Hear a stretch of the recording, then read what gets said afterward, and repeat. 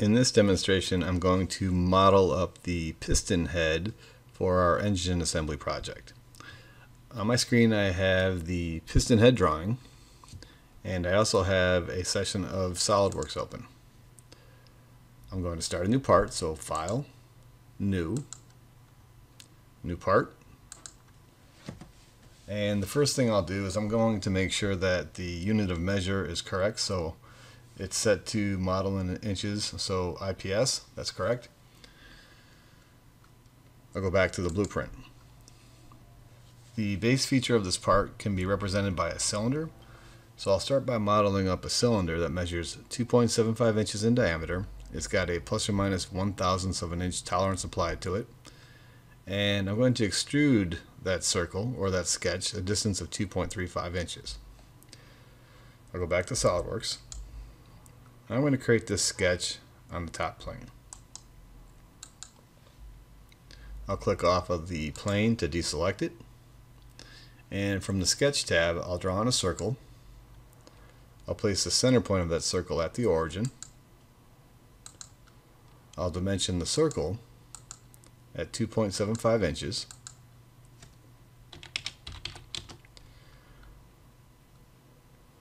If I access the parameters of the dimension, I can set it to a three decimal place dimension, and I can also apply a tolerance to it. In this case, I'm going to apply the symmetric tolerance, and the tolerance is plus or minus one thousandths of an inch. I'll select OK. My sketch is fully defined. From here, I'll go to the Features tab I'm going to use the extrude tool and I'm going to extrude the circle a distance of 2.35 inches. So in the distance field, 2.35, I get a preview of the extrusion. I'll select OK. I'm going to look at the part from a default isometric view and I'll save my work. I'll save it to the working folder and I'll call this part piston head.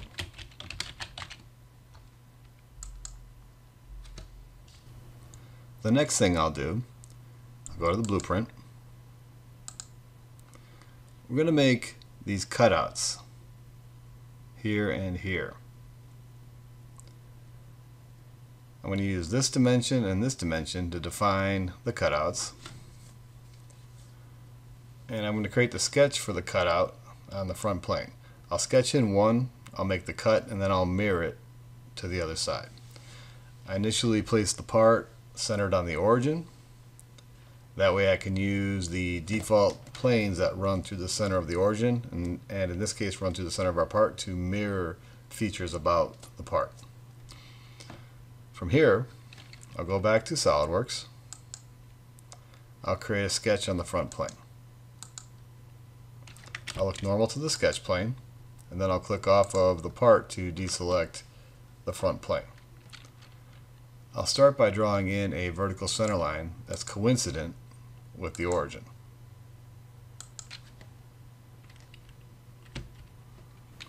Now that I've got the vertical center line drawn in, I'm going to use the corner rectangle tool and I'm going to create a rectangular shape I'm going to start by placing the first endpoint coincident with this edge, and then the second endpoint will be coincident with this theoretical edge. You'll need to be looking perpendicular to your sketch or normal to your sketch to be able to select this edge. Once I lock onto the edge, left click.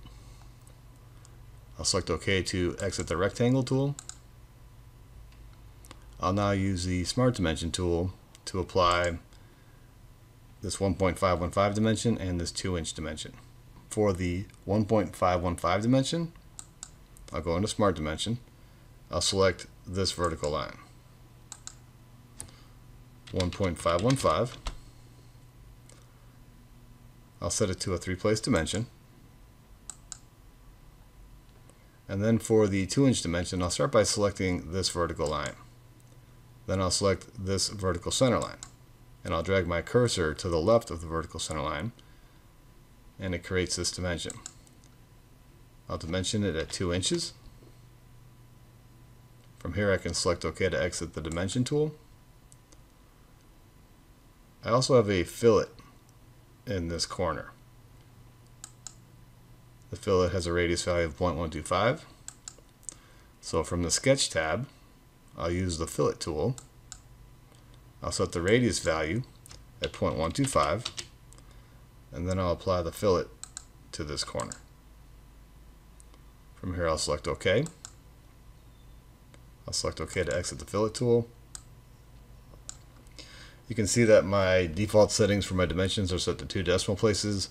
From here I can change this to a three decimal place by coming over to the parameters for that dimension and change it to a three decimal place dimension.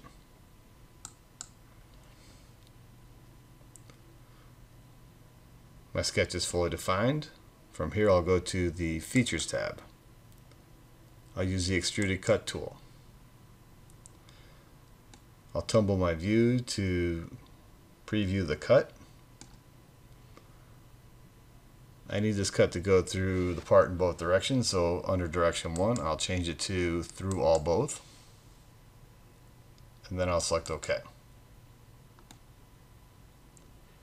The next thing I'll need to do is I'll need to mirror this cut to the other side of the part.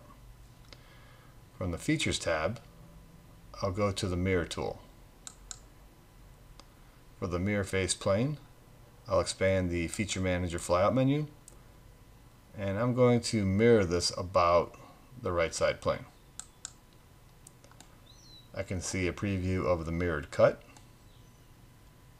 Everything appears to be correct. I'll select OK. I'll save my work and I'll look at my part from a default isometric view.